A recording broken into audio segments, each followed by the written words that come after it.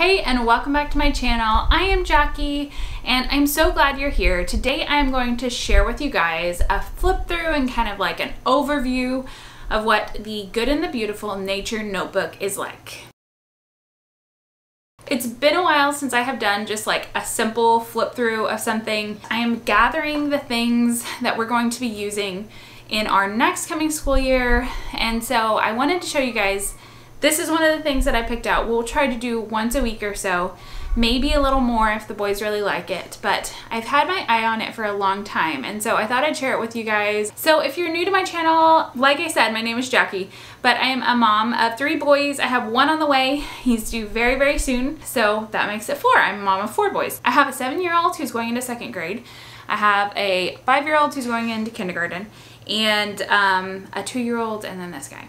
So I've slowly been getting things together for our school year next year, but honestly, my headspace isn't really there right now. My headspace is like the birth and postpartum and new baby. So I've never added in an actual nature study to our homeschool. I've kind of tried to wing it a few times and we do do lots of outside time, but I like the idea of having just a simple notebook to kind of like bring along with us when we're out and about like on hikes and stuff and maybe dig into them, do some drawing, do, do some artwork. I like that a lot. Um, just flipping through the book, it looks totally appropriate for really kind of any age. Like you could go as deep into it as you want or just like kindergarten level, you know, pictures and not any formal writing, maybe you writing for your child on the writing parts.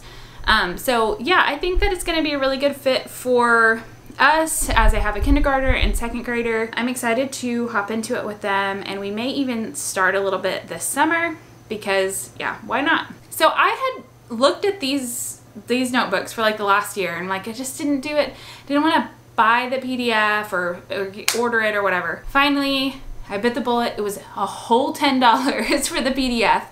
But I decided to go ahead and get the PDF after we got our Epson EcoTank um, printer. So once we got that, I felt a little more free to buy PDFs because I had an easy way to print them without it costing like a ton of money. So I like the idea of buying a PDF because then I can keep it and reuse it for the next kid or reprint it off if I need to. You have the advantage of the PDF being a little bit cheaper, but you're also spending money on, um, you know, paper and getting it bound, ink and that kind of thing.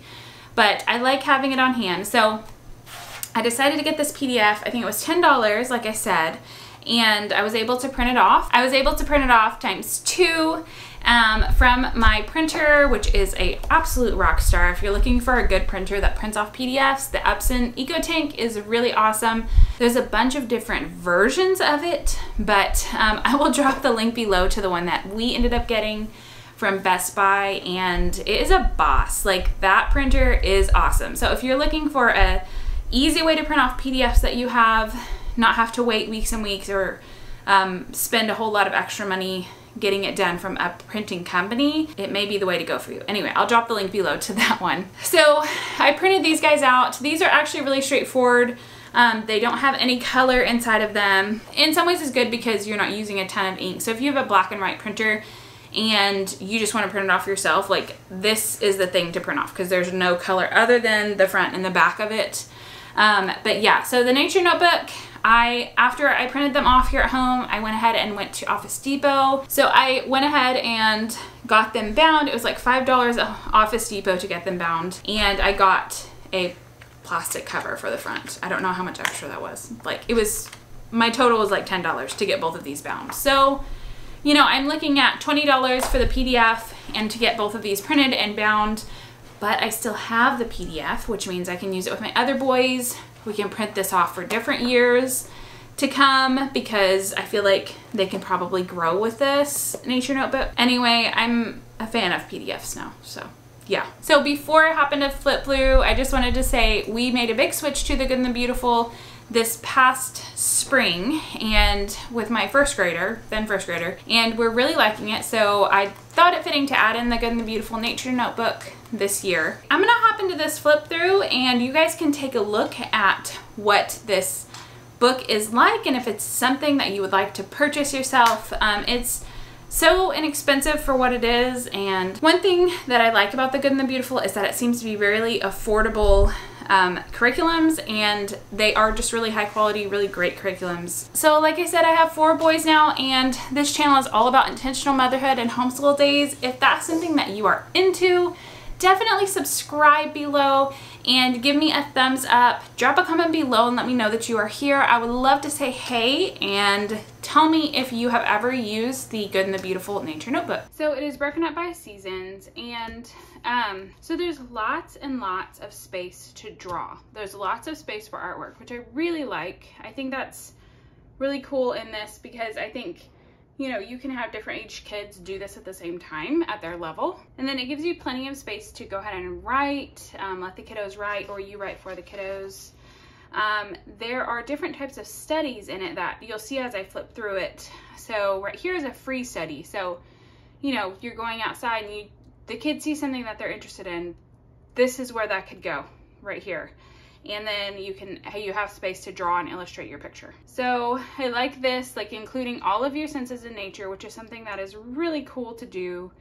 Um, and just focusing on being outside and giving you an opportunity to use your senses. So here it says to tape or glue your favorite fall leaves below.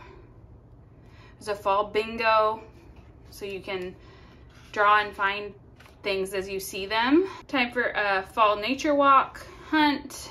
So you're looking for a bunch of different stuff and then you can draw a picture about it. So I love the emphasis on artwork, which is really cool. So on to winter.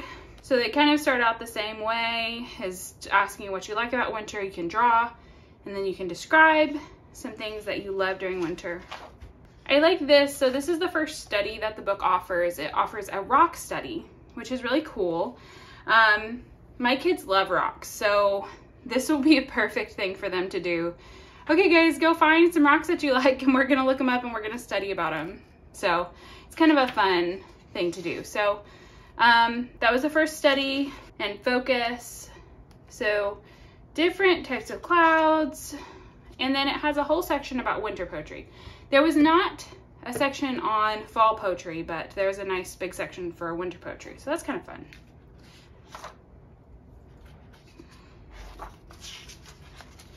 So then you have your springtime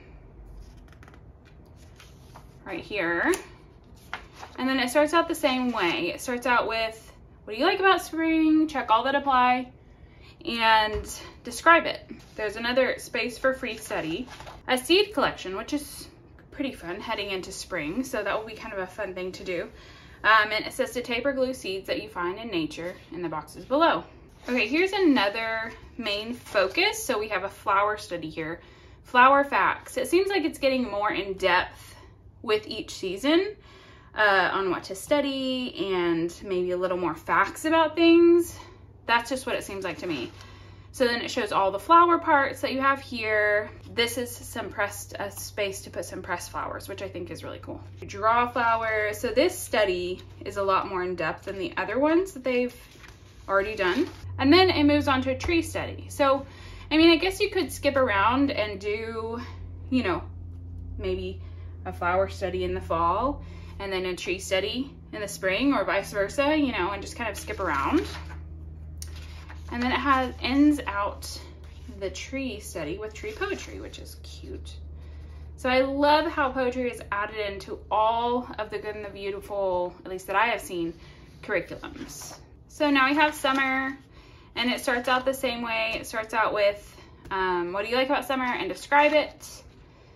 So summertime, you know, I don't know, you we may start the summer one just because it is summer right now, but I'm not sure yet.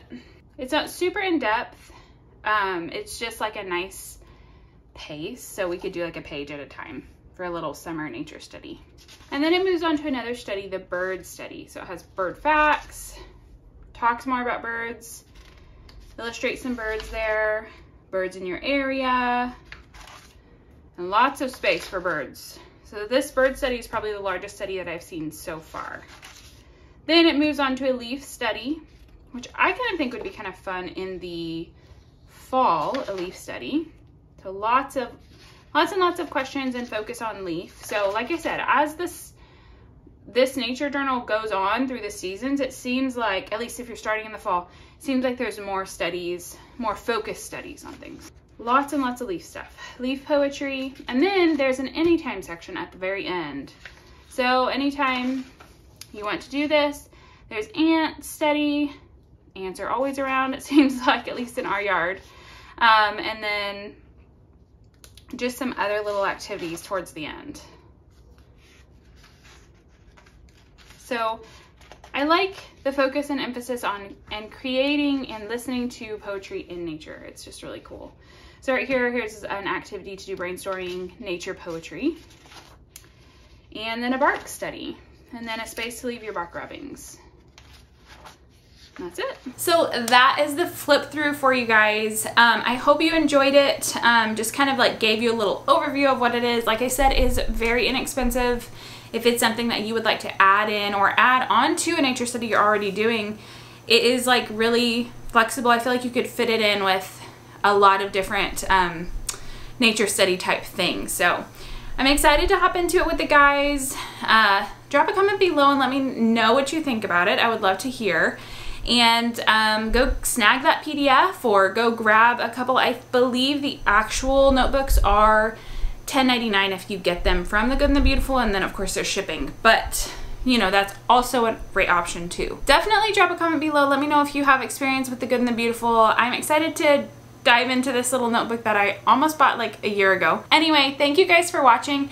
I will definitely link this PDF down below and I will also link my other The Good and the Beautiful videos below too. Thanks, thanks for watching and I hope you come back next time.